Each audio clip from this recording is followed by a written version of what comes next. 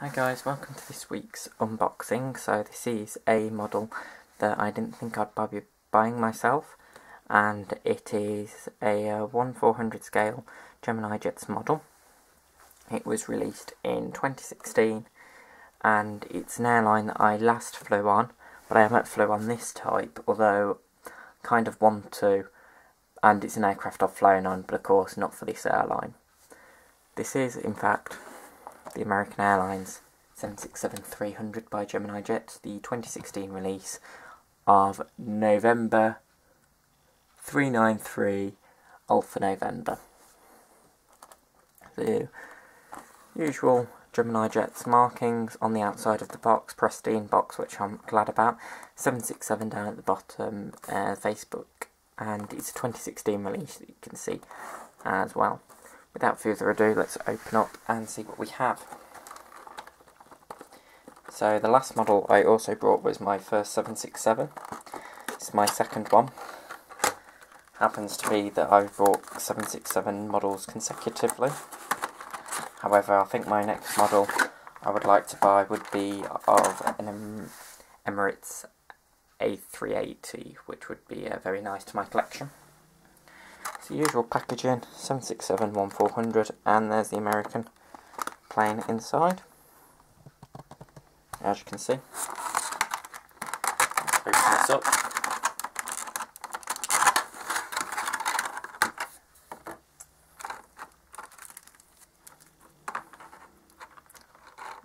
And this is rather nice.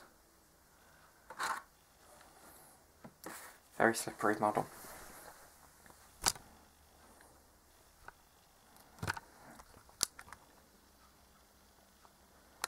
So this is the American 767-300 model. I'm just going to put my plastic in the box and put the box out the back.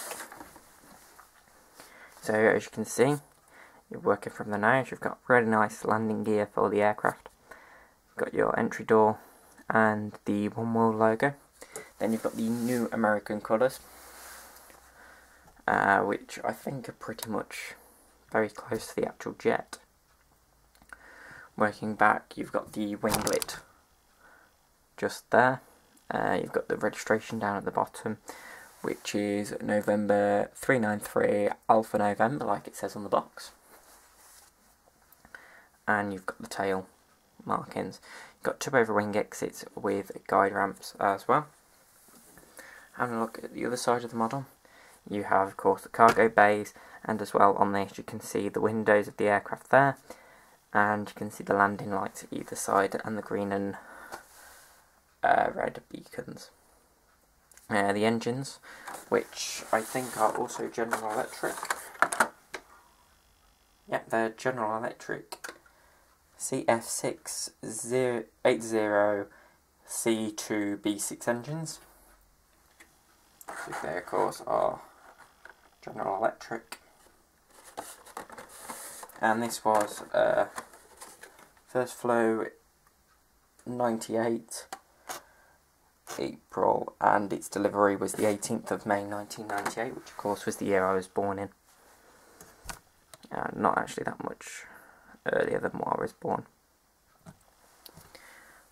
Underneath the model we have just the uh, Gemini Jets logo and removable landing gear you can't see the gear wells that well, but they are a suitable standard. Of course, you don't normally get to see the bottom of the aircraft, so it's not one thing that I do take into account much. But because I thought this would be a very special unboxing, I thought I'd bring along two models to go with it. One of them is, of course, the sister, which is my American Airlines. Sorry, which is my American Airlines 757, which seems to have a slightly off colour to the jet, but it's pretty much exactly the same. The colours seem to be pretty much the same, although the lettering on the 767 seems to be a lot more spaced out than on the 757. Uh, although both aircraft do complement each other very, very well, which I quite like. The engine detail on the 757 is slightly better on than on the 767, although I think that's just the 767 production series, and the engines seem to fit on slightly better.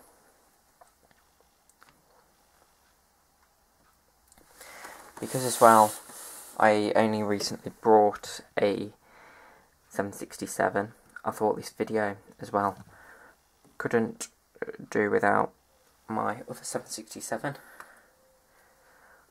which of course is the Delta Airlines 767 oh I'm having a bit of a wingtip collision.